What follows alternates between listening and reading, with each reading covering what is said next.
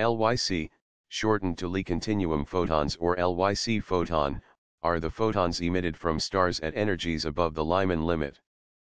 Working off of Victor Schumann's discovery of ultraviolet light, from 1906 to 1914, Theodore Lyman observed that atomic hydrogen absorbs light only at specific frequencies, or wavelengths, and the Lyman series is thus named after him. This quantized absorption behavior occurs only up to an energy limit, known as the ionization energy.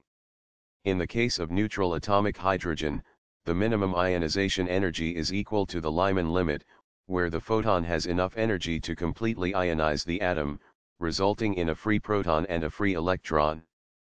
Above this energy, below this wavelength, all wavelengths of light may be absorbed.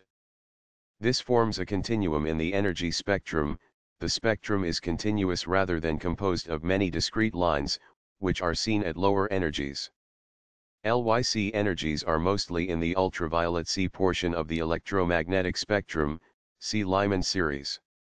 The photon absorption process leading to the ionization of atomic hydrogen can occur in reverse, an electron and a proton can collide and form atomic hydrogen.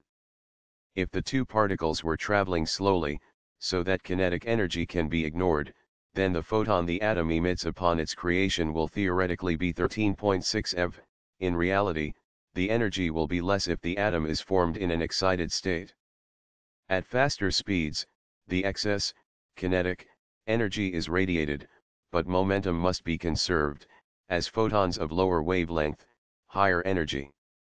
Therefore, photons with energies above 13.6 eV are emitted by the combination of energetic protons and electrons forming atomic hydrogen, and emission from photoionized hydrogen.